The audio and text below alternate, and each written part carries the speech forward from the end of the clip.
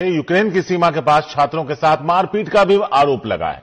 Ukraine के सुरक्षा बलों ने उन पर हाथ उठाया। ये तस्वीर आप देखिए, एक छात्र को एक सुरक्षा बल का जवान लातों से धक्का मारता हुआ नज़र आ रहा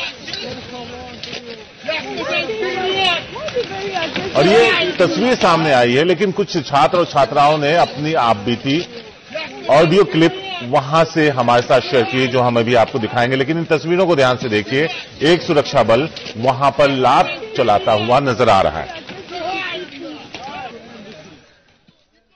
यूक्रेन के शेह यानी बॉर्डर से भारतीय छात्रा ने अपनी ऑडियो क्लिप भेजकर हालात को बयां किया, जिसका ज़िक्र अभी हम कर रहे थे कि किस तरह से उसके साथ वहाँ पर यूक्रेन के जवान पेश आ रहे हैं। सुनिए।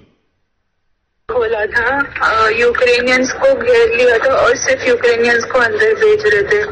हम लोग ने बाद में काफ़ी प्लीड किया। हमारे साथ हमारे इंडियन बॉयज़ ने काफ़ी प्लीड करने के बाद उन्होंने सिर्फ़ इंडियन गर्ल्स को पहले एक्सेप्ट किया और उसके बाद पुलिस आई और पुलिस ने बहुत मारा इंडियन बॉयज़ को।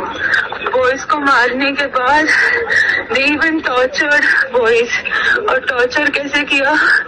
जिसको आस्थमा था उसको स्टम करके हम सबको दिखाया कि हाउ ही इज़ ब्रेथलेस उसके बाद रात को आई थिंक अराउंड ग्यारह, बारह बजे और यहाँ पे आने के बाद जो गार्ड्स थे, उन्होंने बाद में लाइन में अंदर गए तो अंदर वीज़ा में देर सम गेम कुछ तो जो आपको खेलना है। हंटर गेम करके मुझे नहीं पता वो क्या होता है। उधर जाने के बाद वो रॉड लेके खड़े थे गन लेके खड़े थे, और फिर उसके बाद हमें उन्होंने बोला कि this is you have to आपको ये गेम खेलना है, उससे वीज़ा मिलेगा।